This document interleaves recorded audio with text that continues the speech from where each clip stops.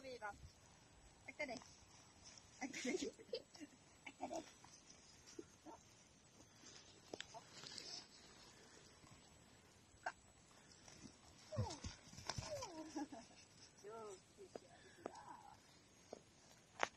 För det var roligt Ivan.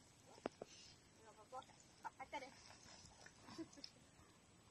Han blir helt annorlunda när han får Nu får du akta dig. Nu får du akta dig.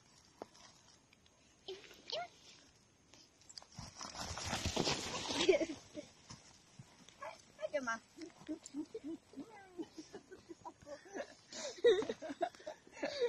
Nu kan hon få en godis. Det lättaste var något. Ivan, här. Jag har det här. Ivan. Ivan. Ja.